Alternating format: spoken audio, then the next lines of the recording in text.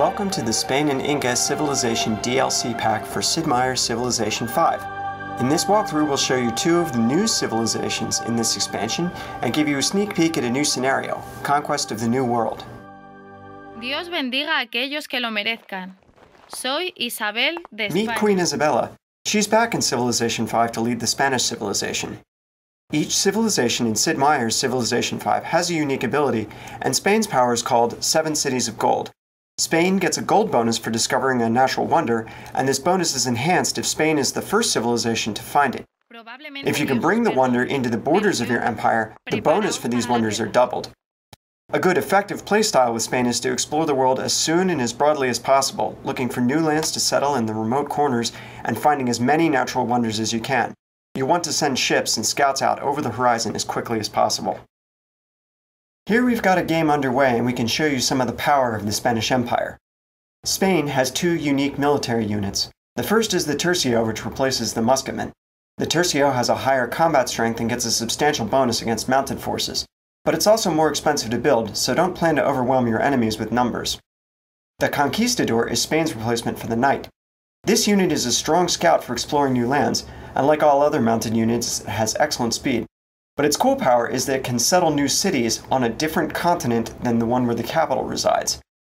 So, if Spain is a broad and expansive empire, then the Incan civilization is a neat contrast, and we'll take a look at them now. Here's mighty Pachacuti, the Earthshaker. The Incans are a civilization that excels at creating impenetrable mountain enclaves. The Great Andean Road ability lets their units ignore terrain costs when moving into any tile with a hill. Also, they don't pay any maintenance costs for improvements in hills, and their tile improvements elsewhere only cost half as much. Terrain that would stop other units or slow a city's growth to a crawl is nothing to the Inca.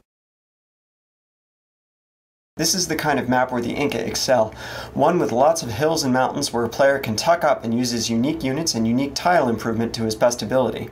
The Incan unique unit is the Slinger, and this replaces the ancient era Archer. A strong early game ranged unit with fast movement on hills can be quite a headache for anyone who tries to take your cities without your permission, but you have to be careful. The Slinger is even more fragile in melee than a normal Archer. If enemies do close with it, it does have a promotion that gives it a chance to escape before the melee attack can occur, so you can run away and fight another day. The Incans also get a unique tile improvement, the Terrace Farm. A terrace farm yields a food just like a regular farm, but it also gets extra food from each nearby mountain tile. This means your farms built near mountains can be almost as productive as farms built on the most fertile river valley tiles in the game.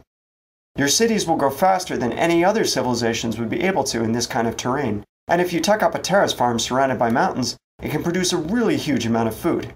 And it looks very cool too.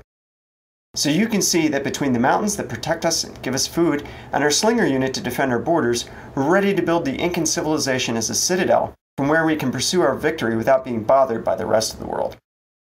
These two civilizations and four civs from Civilization 5 come together in a special scenario with this DLC called Conquest of the New World. You'll be able to play as either a European or native power. The object of the scenario is to be the first civilization to score victory points by finding treasure and bringing it back to your capital.